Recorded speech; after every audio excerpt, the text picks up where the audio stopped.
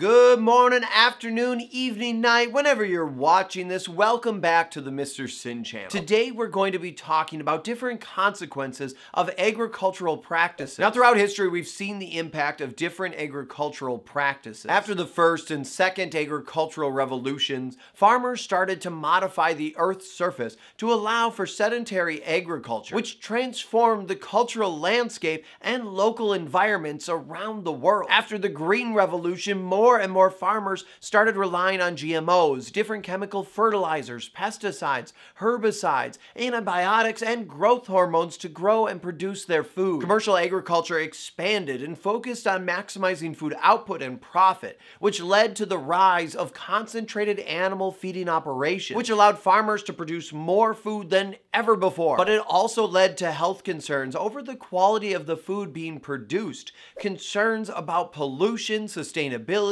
and ethical concerns over the treatment of animals. Today, there is over 8 billion people on planet Earth, so it's no secret that we as a species need to continue to find new ways to feed our growing population. As more countries continue to advance economically, we will continue to see increased demand for meats and luxury foods, which will put pressure on our environment and burden our local ecosystems as we continue to push the boundaries of food production. Today, changes in the climate and how we produce the food are impacting local environments around the world. More places are becoming impacted by desertification, deforestation, soil salinization, and water and air pollution. Desertification is when arable land deteriorates and becomes part of the desert. This is often induced by different human activities. For example, in parts of the Middle East and Northern Africa, we see pastoral nomads who migrate with their animals, grazing on the land as they move. This removes the vegetation in the area, which allows for the desert to continue to slowly spread. Countries with rainforests or heavily wooded areas continue to see the impact of deforestation,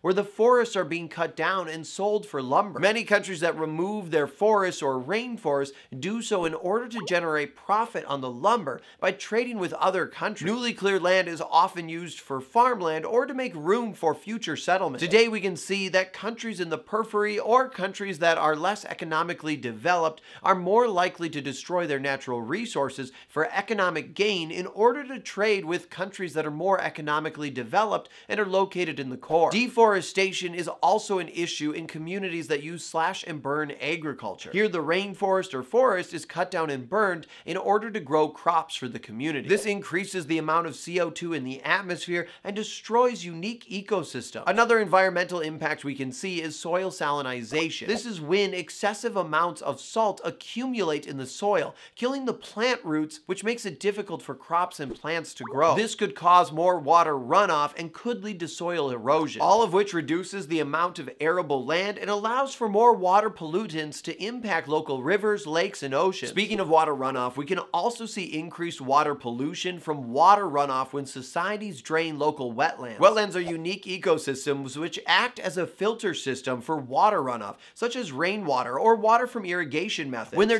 destroyed, it's often to build new settlements over the land or use the land for agricultural use, all of which makes it easier for water containing pollutants to enter local bodies of water. We can also look at the impact of irrigation, which is when water is moved from one place to another in order to help grow crops and plants. This is great for producing more crops and helping plant crops in areas that traditionally do not have access to fresh water, but it can also deplete freshwater sources from other areas and lead to increased water pollution pollution. This is due to fertilizers, pesticides, herbicides, and manure and other pollutants getting into the water and running off into local bodies of water. Another type of agriculture that reshapes the local environment is terrace farming, which can often be found in Southeast Asia and other places with mountains or large hills. This type of agriculture is very labor intensive to create and is utilized in areas that need to maximize their arable land to feed their population. But in doing so, they transform the natural land landscape. If done correctly, it can decrease the amount of water runoff and can help increase the amount of food production in an area. Now, it's not all gloom and doom. Countries around the world are doing a lot to protect their natural environment. Today, different people, countries, and organizations are working to restore wetlands,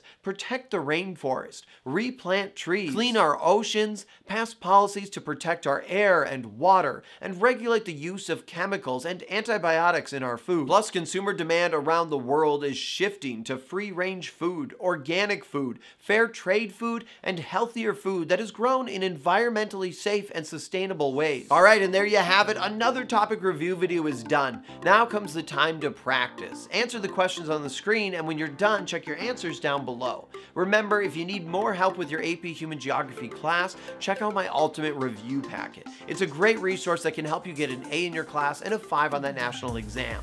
As always, I'm Mr. Sinn. Thank you so much for watching, and I'll see you next time online.